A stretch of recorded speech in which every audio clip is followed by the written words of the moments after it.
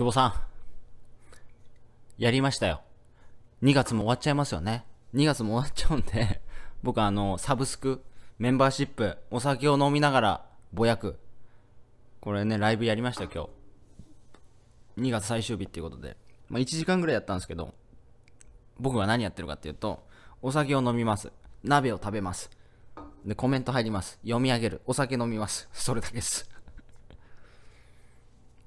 でね、その金麦め、その金麦研究所メンバーはサブスクなんですよ。390円ね。で、お金は払ってるわけですよ。で、なおかつ、金麦研究所のそのメンバーの方、今僕が販売してる新商品も買ってくれてます。何なんでしょうね。まあ、ありがたいですけど。買いましたみたいな。まあ、やってみるもんですね。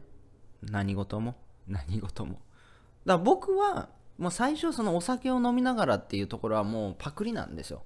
で、パクっても、じゃあそれや、やれるかどうかって大事なんですよね。み、見てやれるかどうかっていうのは大事で、久保さんすぐやるじゃないですか。だからそれがやっぱ強みですよね。僕も最初、もう、なんだ、柴田さん今100万人いってますけど、5、6年前、まだ10万人いってない時ですね。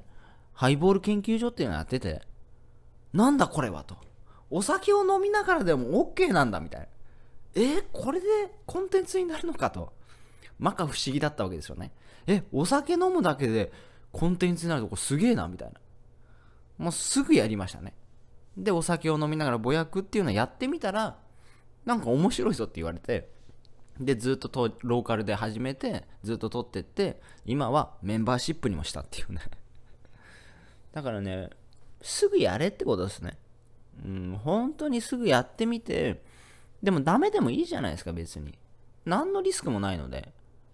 なんかそのね、例えばそのお酒を飲みながらぼやくっていうのも、まあ、ハイボール研究所っていう名前もパクりましたけど、その、なんか、やってダメだったら、なんか、1000万失うのかって話で、0円ですよね。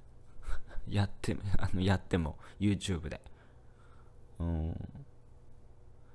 だからね、やっぱもうすぐやるっていうね。うん、だからあれでいいんじゃないですか。結局すぐやる人が全てを手に入れるっていうので、前もなんかこのタイトル使ったと思うんですけど、結局すぐパクってやるやつが、ね、結果を出せるとかにしておきましょうか。結局すぐパクってすぐやれるっていうね。パクらないとできないですからね。スティーブ・ジョブズじゃないんですよ、僕たちは。ね。新しい画期的なものなんか作れないので。そう。ね、久保さん、ヒカルくんね、見てないって言ってましたけど、ヒカルくんも言ってましたよ。はじめ社長完全パクリです、みたいな。ただ、はじめ社長がやってないところはお金に触れてない、クリーンなイメージ。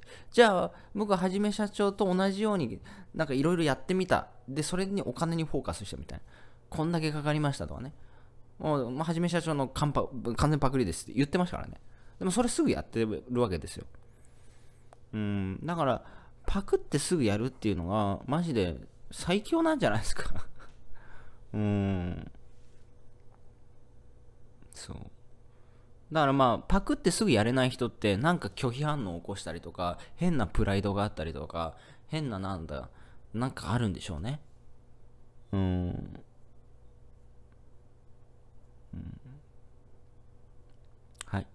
うん、